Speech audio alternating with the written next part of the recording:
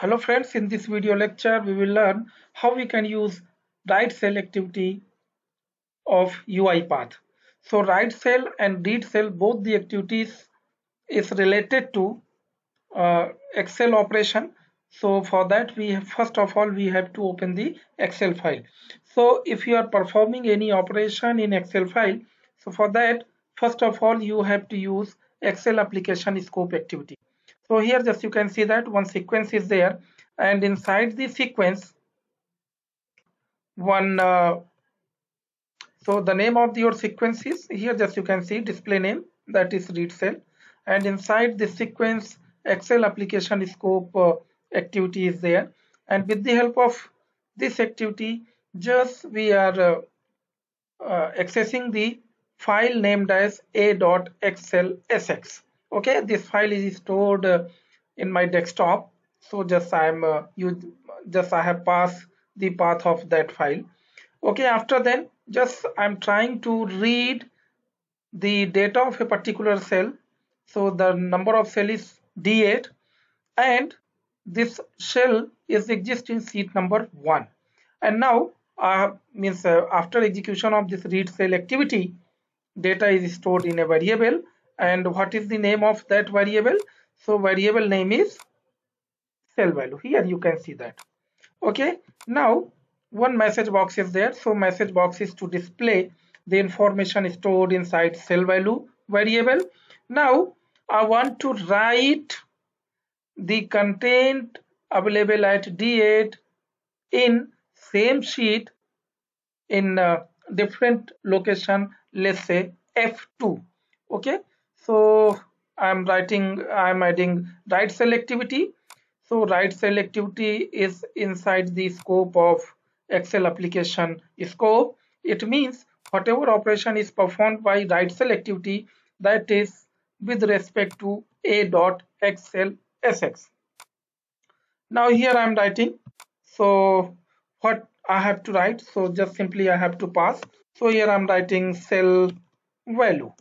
Okay and where I have to put the content so let's say F2 so before execution of uh, this sequence just we check the what is the content play available in F2 so here just you can see that column F and row number 2 there is no information. So I am executing it and we see what is the output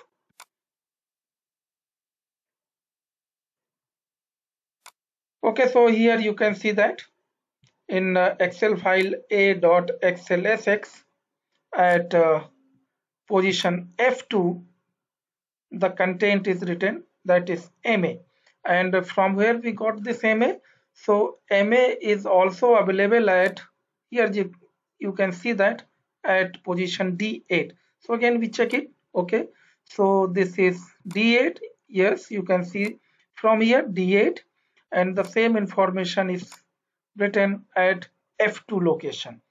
Now, so let's say anyone is there who wants to write the content in different Excel file.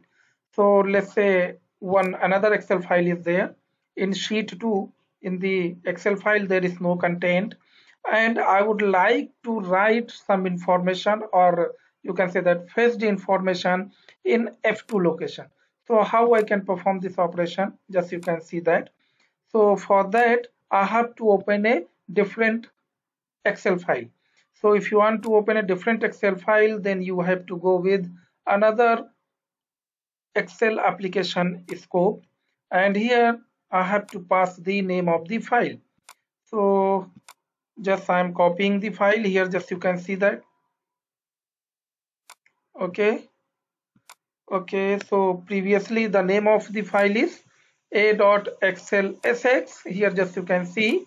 Now the name of the file is b.xlsx okay. Now i want to perform the write operation on a particular cell value. So simply what you can do just you drag the write cell activity drop here and I want to write the information in sheet number 2 where F2 location.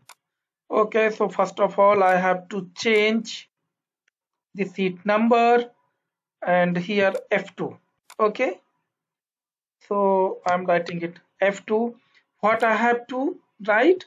So I have to write the cell value.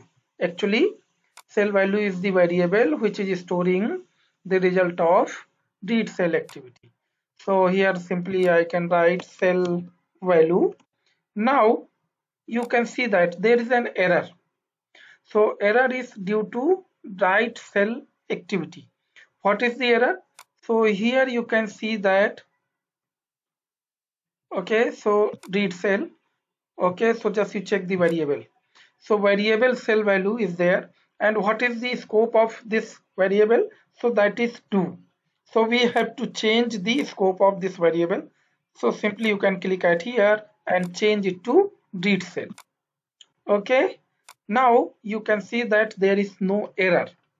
Again i'm checking the v.xlx no value is available at uh, position f2 now i am executing the sequence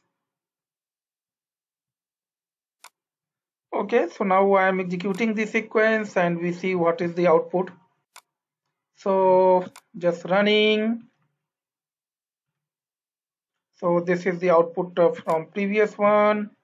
And we open uh, the excel file b.xlsx so here you can see that this is the file b.xlsx this is your seat number 2 this is your cell number f2 so whatever content we have read using read cell activity that is written right here. So write the same data in different excel file. So hope all of you are able to understand the concept how you can use read cell. Okay